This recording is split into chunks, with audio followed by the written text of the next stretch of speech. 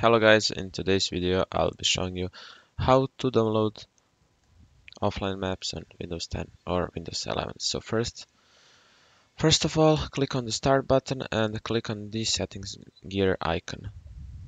If you can't see it, that's because you're on Windows 11. So just go to here and go to settings. Next, we'll be typing here apps sorry apps and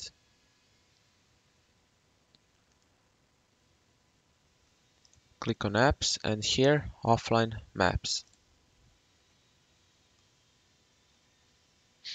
Now wait. So here you have everything from map storage metered connection map updates and everything just simply go to download maps.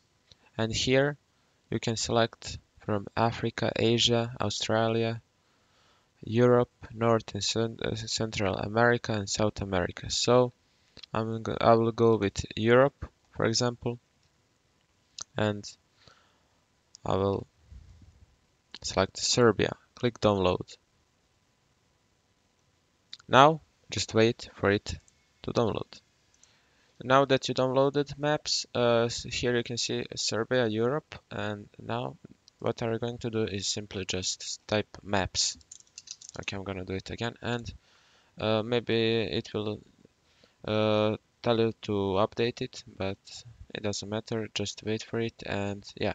So here here uh, I just disabled my internet connection and here uh, you can see uh, that some maps besides Serbia is allowed. So that is also good thing, but Serbia here, you see, you can you can see everything.